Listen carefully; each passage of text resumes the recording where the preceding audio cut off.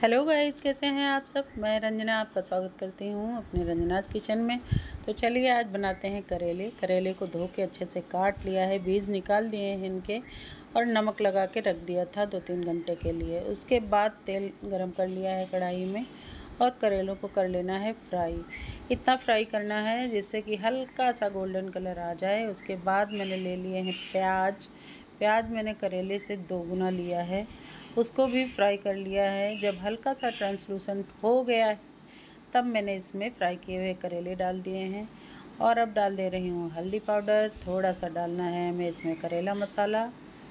बस मिक्स कर लेना है। हल्का सा नमक डाल देना है और थोड़ा सा आमचूर पाउडर डाला है।